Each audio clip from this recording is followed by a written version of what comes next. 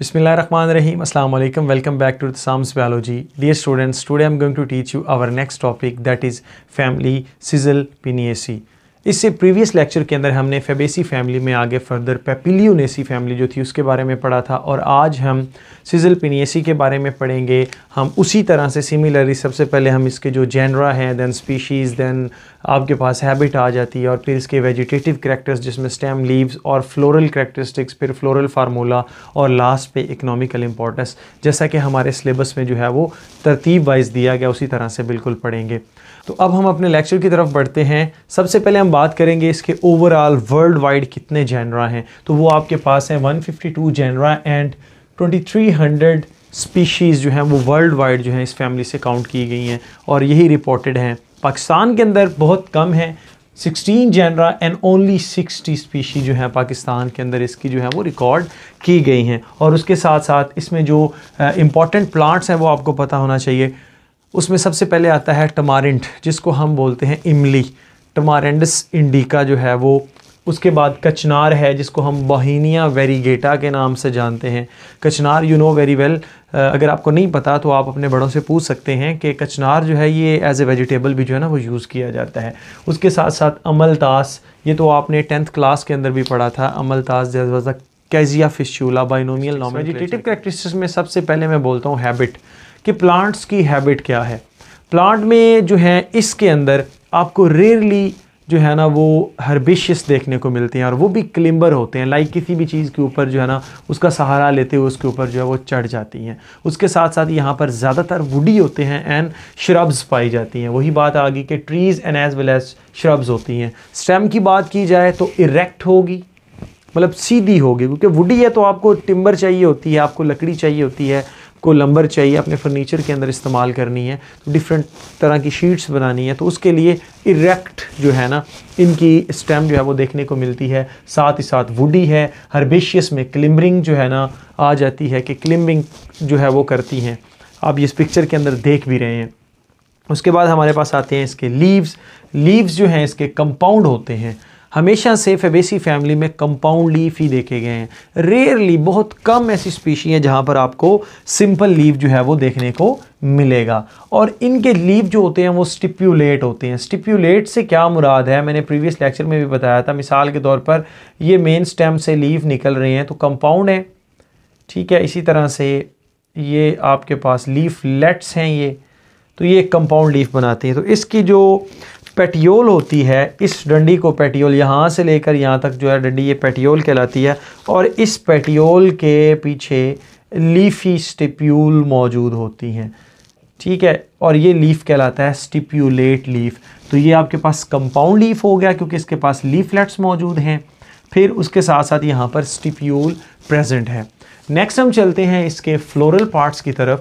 Floral जो parts हैं, उसमें सबसे पहले हमारी आती है इनफ्लोरिसेंस इनफ्लोरिसेंस बताता हूँ मैं आपको प्रीवियस लेक्चर में भी बताया था कि अरेंजमेंट ऑफ़ फ्लावर्स होती है। जब फ्लावर एग्रीगेट करते हैं, इकट्ठे होते हैं एक जगह पर तो वो जो अरेंजमेंट पर्टिकुलर कहलाती है, वो कहलाती है इनफ्लोरिसेंस इनफ्लोरिसेंस में यहाँ पर हमें देखने को मिलती है दैट इज़ एक्जिलरी एक्जिलरी से क्या मुराद है? मिसाल के तौर पर आपके पास ये मेन स्टेम है और इस मेन स्टेम से इधर फ्लावर देन इधर फ्लावर देन इधर फ्लावर ये कौन सी जगह है? ये नोड्स हैं।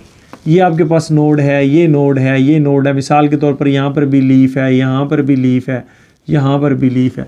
तो मेन ब्रांच पर जो है ना, वो नहीं होगी। तो जो एक्सियल बर्ड्स होते हैं, वहाँ से निकलती हैं। दैट इज़ कार्ड एक्सिलरी उसके बाद आपके पास आ जाती है raceme that is terminal raceme terminal raceme भी मैंने ऑलरेडी आपको बता रखी है कि इस तरह से मेन अबव ऊपर की तरफ़। रेस लगी हुई है जी, ये आपके पास टर्मिनल रसीम कहलाती है और हमारे पास आती है पेनिकल पेनिकल किस तरह की होती है? ये मिसाल के तौर पर मेन एक्सिस है तो यहाँ से ये, फिर ये, फिर फर्दर ये, और ये फिर आगे इतनी डिवाइड होती हैं और इस पर इतने ज़्यादा फ्लार लगते हैं।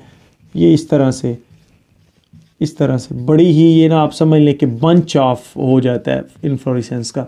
यहाँ पर बहुत ज़्यादा जो है वो कम्प्लेक्स किस्म की ये होती है inflorescence this is called panicle और इसके साथ साथ हमारे पास आती है दैट इज़ स्पाइक स्पाइक भी जो है, वो आपने देखा होगा स्ट्रोबलस लाइक इस तरह का स्ट्रक्चर जो है वो बनाती है स्पाइक नुमा।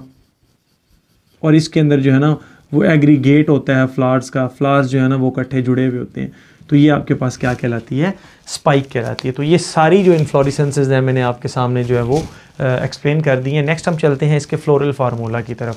फ्लोरल फार्मूला इंतहाई आसान है। अगर आपको ये लाइन पूरी याद हो जाती है तो आपको वो जो पर्टिकुलर पैराग्राफ है, वो याद करना इंतहाई आसान हो जाएगा। इसका जो फ्लार होता है, वो आपके पास जाइगोमार्फिक होता है। यानी कि सिमेट्रिकल नहीं है एसिमेट्रिकल है। और we can say bilateral symmetry होती है, उसको सिर्फ़ टू इक्वल पार्ट्स के अंदर जो है ना, वो डिवाइड किया जा सकता है। सम टाइम यहाँ पर कुछ ऐसी स्पीशीज़ हैं जिसमें एक्टिनोमार्फिक भी देखना, देखने को मिलता है। लाइक like फ्लार जो है, उसको आप equal to four six five eight इस तरह से मुख्तलिफ़ हिस्सों में जो है ना, वो इक्वली काट सकते हैं। फिर फ्लार इसका बाईसेक्सुअल होता है, यानी कि मेल एंड फीमेल एक ही फ्लार पर होते हैं। तो इस तरह के फ्लार को हम बाईसेक्सुअल या हर मेफ्रोडाइट भी बोलते हैं। नेक्स्ट हमारे पास जो केलिक्स हैं, वो फाइव होती हैं और पोलीसेप्लस फॉर्म में होती हैं। पोली का मतलब है कि एक दूसरे के साथ जो है ना पोलीसेप्लस एक दूसरे के साथ जुड़ी भी नहीं होती। सम टाइम ये देखा गया कि बेस से जो है ना, ये एक दूसरे के साथ फ्यूज्ड होती हैं। नेक्स्ट हमारे पास आता है कोरोला कोरोला भी यहाँ पर आपको पोली पोलीपेटलस कंडीशन में मिलेगा। पोलीपेटलस से क्या मुराद है? पोलीपेटलस से मुराद है कि इसकी पैटल्स भी जो हैं वो अलग अलग होती हैं। मतलब एक दूसरे के साथ फ्यूज़ नहीं होती। और हमें यहाँ पर एंड्रोशियम देखने को मिलते हैं टेन और वो भी कितने हैं? टेन से लेकर न्यूमरस होते हैं। न्यूमरस भी हो सकते हैं। दस भी हो सकते हैं और इसी तरह से बहुत ज़्यादा भी हो सकते हैं। और सम टाइम वो कहते हैं कि फ्यू भी होते हैं। कुछ ऐसी स्पीशीज़ हैं जहाँ पर आपको फ्यू स्टेमन्स जो हैं वो देखने को मिले हैं एंड्रोशियम देखने को मिले हैं। फिर हम आ जाते हैं गाइनोशियम की तरफ़। गाइनोशियम जो है दैट इज़ सिंगल पिस्टल ये सिंगल होती है और सिंगल पिस्टल पिस्टल मैंने आपको प्रीवियस लेक्चर में बताया था, जिसमें ये ये तीनों चीज़ें पाई जाएँ that is stigma style and as well as ovary और इस ओवरी के अंदर जो है वो ओव्यूल प्रेजेंट होता है, और ये मोनोकार्पलरी है, यानी कि एक ही कार्पल होती है। उसके साथ साथ मैंने आपको प्रीवियस लेक्चर के अंदर बताया था कि जो मोनोकार्पलरी होती है, उसके अंदर जो इसकी ओरिएंटेशन है, जो इसकी लोकेशन होती है, जो इसके अंदर पड़ा हुआ ओव्यूल वो कौन सी होती है? दैट इज़ द मार्जिनल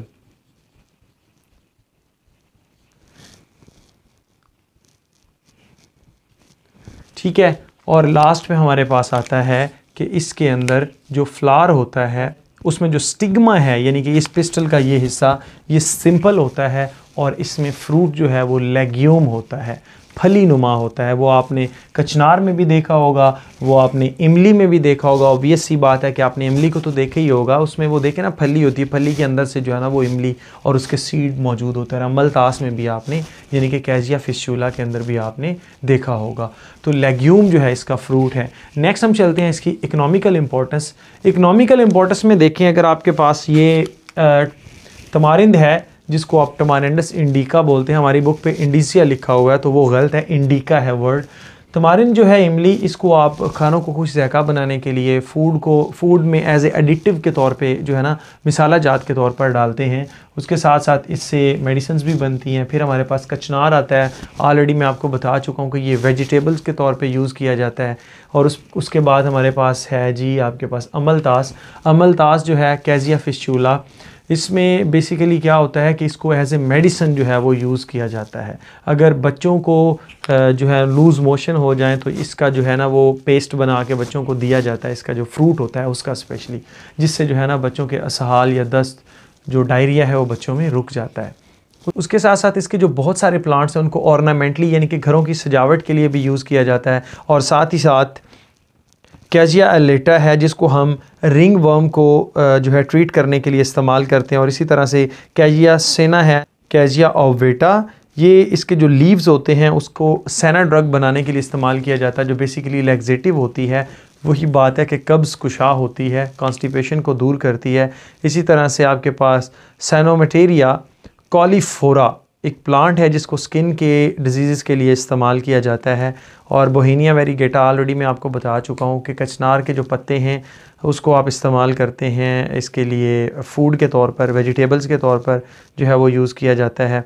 और लास्ट में हमारे पास आता है कि इसकी जो बार्क है बोहिनिया की या टमारेंडस इंडिका की, ये आपके पास टैनिंग में, यानी कि चमड़ा जो रंगते हैं ना, उसमें इस्तेमाल की जाती है। और इसी तरह से जो हार्ट वुड यानी कि दरमियान वाली जो काली लकड़ी होती है हिमेटोक्सेलॉन जो है, एक प्लांट है, इसी से बिलोंग करता है लॉन्ग वुड ये बेसिकली एक डाई बनाने के लिए इस्तेमाल किया जाता है दैट इज़ हेमेटॉक्सिलिन ठीक है? तो ये था एक ब्रीफ इंट्रोडक्शन अबाउट सिसल पेनेसी जो हमारी एफएससी की बुक में है। जितना यहाँ पर दिया गया था, मैंने आपको ब्रीफली बता दिया। आई होप कि आपको मेरा लेक्चर अच्छा लगा होगा। Stay connected thank you and अल्लाह हाफिज़